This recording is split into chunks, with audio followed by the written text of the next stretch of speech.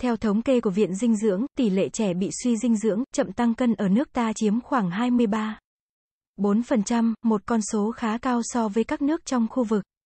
Suy dinh dưỡng không chỉ ảnh hưởng đến sự phát triển thể chất ở trẻ, ảnh hưởng đến vóc dáng, thể trạng khi trẻ trưởng thành mà còn làm gia tăng nguy cơ mắc các bệnh ở trẻ tăng cao do sức đề kháng yếu.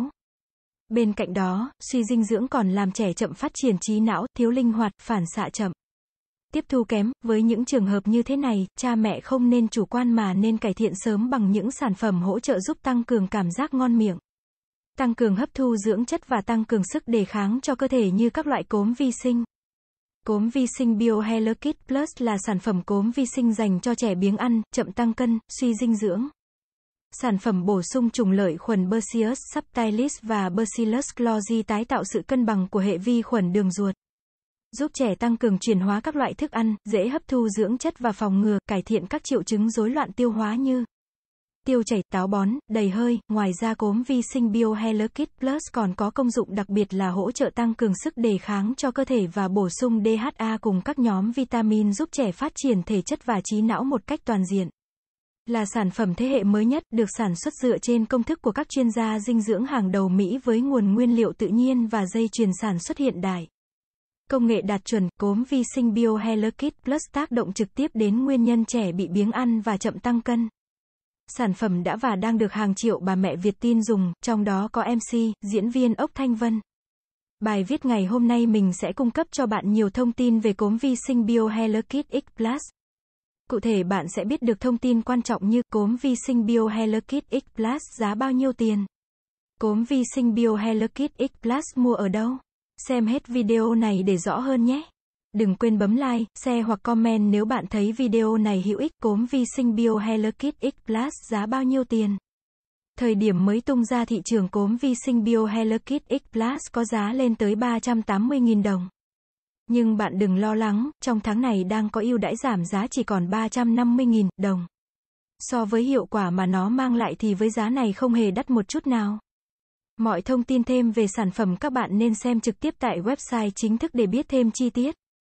Mỗi sản phẩm đều có mã vạch để chống hàng giả, hàng nhái. Khi khách hàng sử dụng và trách mã vạch sẽ hiển thị ra hình ảnh của sản phẩm.